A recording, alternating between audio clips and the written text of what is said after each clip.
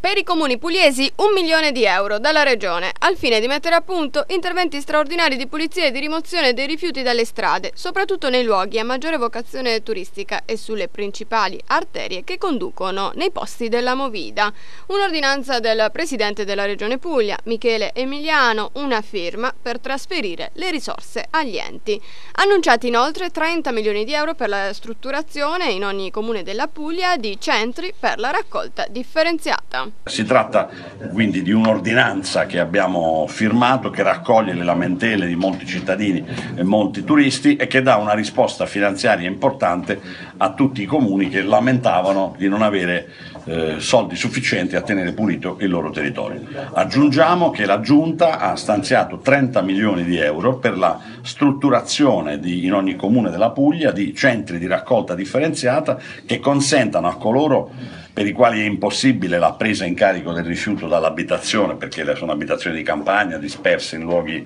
distanti, di poter eh, in qualche maniera conferire in modo differenziato il rifiuto anche in queste aree eh, dove diciamo, la raccolta porta a porta è più difficile